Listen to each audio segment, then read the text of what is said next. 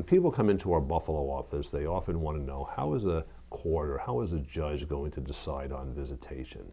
And what I tell somebody is that very often uh, a court will make a decision based on what the mom and dad agree to if that's a reasonable resolution.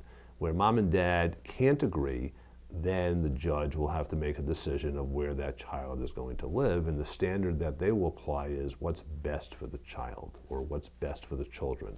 They always look out for the children's best interest.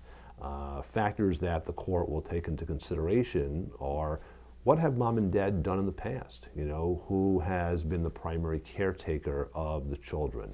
Um, who's um, been more involved in the children's lives? Or have both parties, have both mom and dad been very, very involved? So um, if one parent has been very involved and the other isn't, uh, then uh, that person uh, probably would not have as much access with the children if both parties have been very, very involved with the upbringing of their children and attending school and sporting and doctor's events, then a court would generally give more time uh, to that party who is uh, asking for additional visitation or additional access with the children.